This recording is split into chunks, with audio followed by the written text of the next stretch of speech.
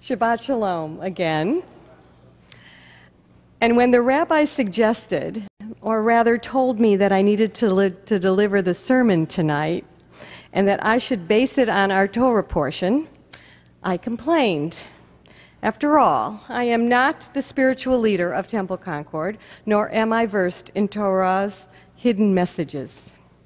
But I listened to his video message, all about complaining, and then decided since he was not going to let me get away with saying nothing, that I needed to solve this problem and move on, just as the Israelites needed to do in order to get to the promised land.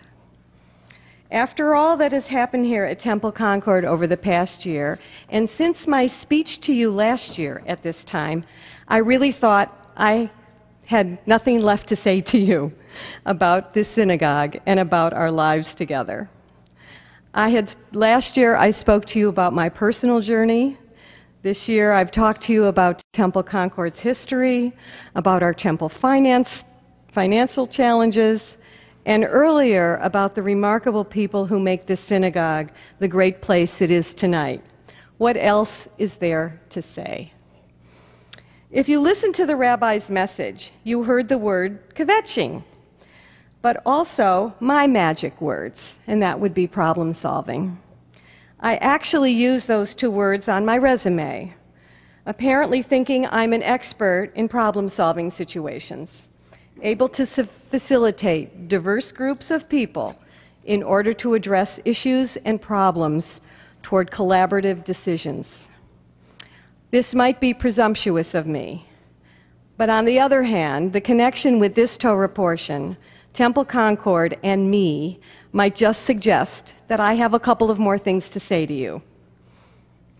Delving deeper into this week's Torah portion, we see that indeed there was lots of gnashing of teeth and kvetching, and that the Israelites needed an attitude adjustment. They needed, in fact, a paradigm shift, a move from the culture they were immersed in, one of blame of others and entitlement, to a culture where they needed to solve their own problems and figure out how to move on. In my professional life, I have had experiences in walking into a culture that needed a shift, a way of looking at life a little bit differently. Those I worked with knew something needed to change, but were unable to move, thinking that someone else would solve the problems confronting them. This is what I learned about changing a culture. First, the more you find out about a new situation, place, or person, it's like peeling an onion. First you cry, and then you begin to cook it. Second, cooking means stirring the pot a bit, getting the bits and pieces to stick together to make something good. Third, never provide the answer to the problem. Rather, ask questions relentlessly. Listen to the answers given and then ask more. The result of this recipe is that people solve the problems themselves and then own their decisions. I have learned that answers reflect the past Questions advise you about the future. Gradually, the culture of negativity and despair shifts toward a positive, energized community. And isn't this what happened to our own community, our own congregation? We have despaired at our problems finances, dwindling population, and an old building. We have waited for someone to come along and solve the problems for us, or looking for someone or something to blame. Sort of like Dorothy, who went looking for a more exciting dream and found it in her own backyard. Have we asked enough questions about our future, about our problems, about our challenges, about our strengths? Have we asked ourselves enough times, what can I do to solve whatever challenges are before us?